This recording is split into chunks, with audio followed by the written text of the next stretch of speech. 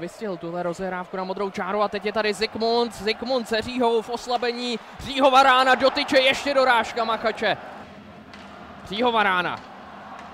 Ještě je Zikmund a je tady gol. Ladislav Zikmund využívá přesilovku 5 na 3 v samém závěru.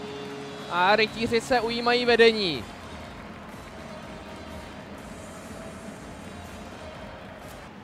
Kružík. Dobře viděl Redlicha, který si najížděl. Teď je tady kaut Redlich, velká šance, ale Doliš skvěle zasáhl. Navíc uh, obránce Slavík zlomil hůl a tady se rýsuje šance pro Říhu. Říhu a backendová střela ke vzdálenější tyči a je to 2-0. Tak uh, přeci jen přichází gol do šatny Jiří Říha.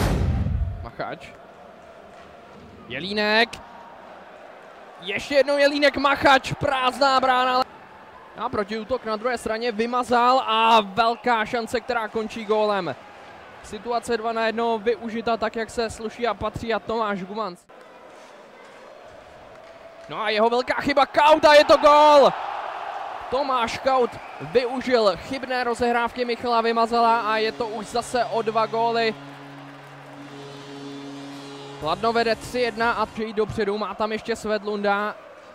Svedlund, velká šance, Dolejš drží, ale Slavík na druhou stranu Ovčačíkovi a tam z toho je Mela a nakonec i gól.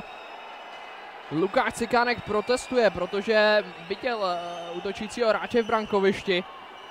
No samotného by mě zajímalo, jak se ten kotouč dostal do brány, ale Kaut. Kautová střela, ještě dorážka Machače.